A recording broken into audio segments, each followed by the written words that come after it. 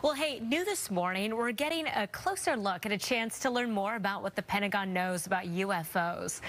The Department of Defense says the new official website will be a one-stop shop for all public information about the objects. The database will be updated regularly as information becomes cleared for the public. The Pentagon says the site will be available this fall. Hmm. All right. Stay tuned. Thanks so much for joining us.